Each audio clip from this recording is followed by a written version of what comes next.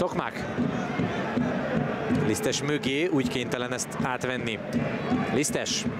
Jön befelé Lisztes. Három ember között. Lisztes! Lisztes lövi el! Mekkora gól Lisztes Krisztiántól!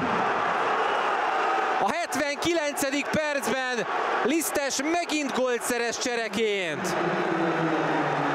A Fehérvár elleni dupláját követően most a Vasas kapuját veszi be.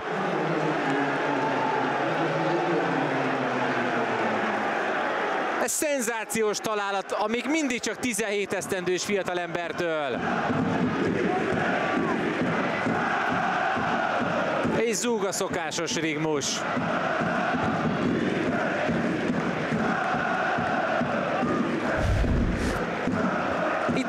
A labda, egy ember elcsúszik kettő között, mint hogyha csak bójákat kerülgetne az edzésen. Szenzációs villanás ez Lisztestől, és aztán tű pontosan kirúgja a jobb alsót. Ott pont egy labdányi hely volt, uram és a kapufa között.